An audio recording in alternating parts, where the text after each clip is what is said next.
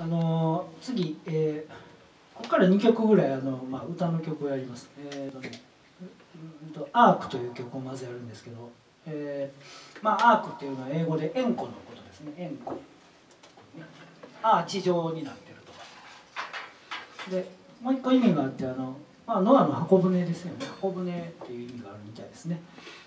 で、まあ、僕はそのアークという言葉の響きが好きなだけでこれをタイトルにしたんですけど。うん。歌詞はねこれ英語なんですよ。無理やり英語で作ったんですけどあの大雑把な意味はあのこの歌は登場人物はあなたと私だけなんですね。でうんまあなんかあなたと私がいるとそのあなたと私でこうまあさっきそれこそ何やっけ恋愛したり別れたりとか、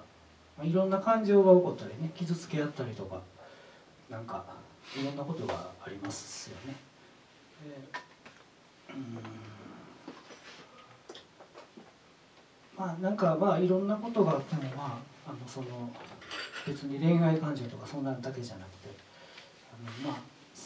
なんやろなうんなんか最後はまあお互いにこう抱き合うことぐらいはできるんちゃうみたいなそんな感じです。僕がイメージしてることは。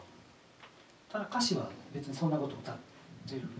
具体的に歌ってるわけでもないこともないこともないかもしれない。英語が分かる人で僕の発音が正しければ伝わるけど僕の発音が怪しいから分からないかもね。まあまあそれはいいでしょう、うん